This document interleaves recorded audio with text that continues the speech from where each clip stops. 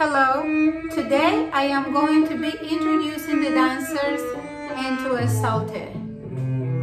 A saute is a move that is going to be on first, plie, knees over toes, and we're going to jump a la seconde, point on the toes. And that is a saute. Thanks for watching.